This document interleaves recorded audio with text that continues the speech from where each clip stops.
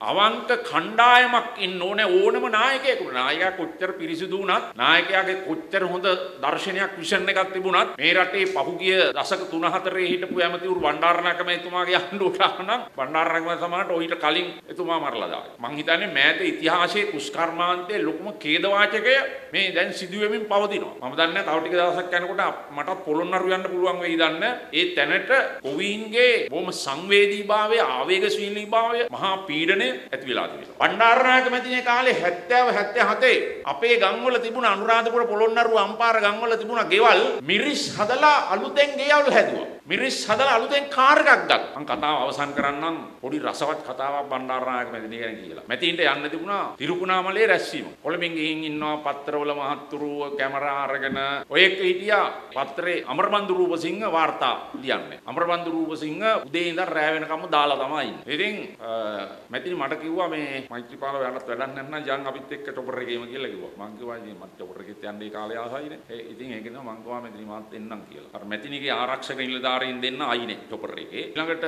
පත්තරේ වාර්තා ලියන අමරබන්දු රූපසිංහ මහත්තයා අර ආරක්ෂක නිලධාරියයි බණ්ඩාරනායක මැතිනි අතරේ. බණ්ඩාරනායක මැතිත් එක්ක මෙහා පැත්තේ මම ඉඳගෙන ඉන්නවා ආරක්ෂකධාරියෝ ඔහොම ඉන්නවා. හතර දෙනායි එතකොට ඔහොම මේක යන්නේ. දැන් ටොපර් එක නැග්ගුවා. නග්ගලා පොඩ්ඩක් යනකොට මැතිනි මං දිහා බලලා කිව්වා මෛත්‍රීපාල ගඳක් එනවා නේද කියලා. මට දැන් මැතිහින්ට දැනෙන්න කලින් මට ගඳ දැනිලා ඉවරයි මට. කියලා බලනකොට මේ අමරබන්දුවා දැන් හොඳටම බීලා. කොහොම ගින් අමරබන්දු සින්දු කියන්න පටන් ගත්තා. ඉතින් අමරබන්දුගේ නම අමරබන්දු රූපසිංහනේ. ඌ ඌ කොච්චර බිව්වත් ඒකම තමයි කියන්නේ. මොකද්ද?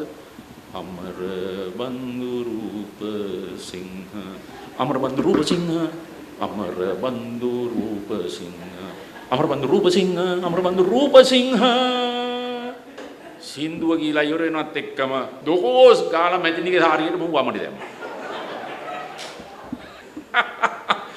බණ්ඩාරායක මැදිනි ජිට්ට ජීවිතේට එහෙම දෙයක් වෙන්නේ නැතුව ඇති. දැන් මොකද මේ චොපර් එකේ හිට ගන්නද ඉක්මනට ඉන්නද කරන්න දෙයක් නැහැ. ඉතින් ඉතින් ඔච්චරයි කතාව.